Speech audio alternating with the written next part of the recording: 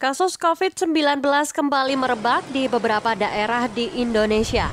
Namun di Kabupaten Kota Waringin Timur tidak ditemukan kasus tersebut.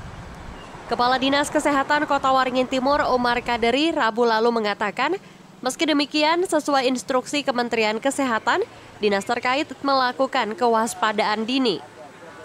Meski kasus COVID-19 nihil, warga diminta waspada dengan menjalankan pola hidup bersih dan sehat. Penggunaan masker menjadi salah satu cara terbaik mencegah terjadinya penularan COVID-19.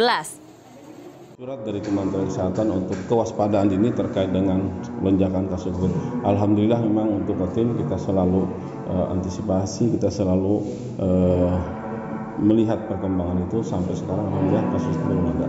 Mudah-mudahan tidak ada. Imbauan seperti apa Pak untuk masyarakat? Uh, kewaspadaan dini dari Kementerian Kesehatan artinya Dinas Kesehatan siap-siap artinya uh, untuk mengantisipasi kasus-kasus uh, COVID varian baru. Nah, himbauannya adalah kita dianjurkan dianjurkan tetap pakai masker.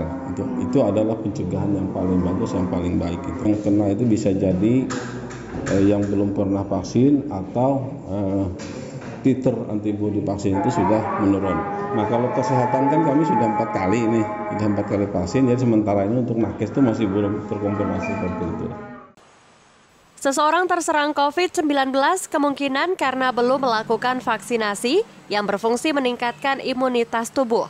Kemungkinan lain adalah karena imunitas tubuh dari vaksin yang diterima sudah mulai menurun. Dari Sampit, Ririn Binti dan Masud Badarudin melaporkan.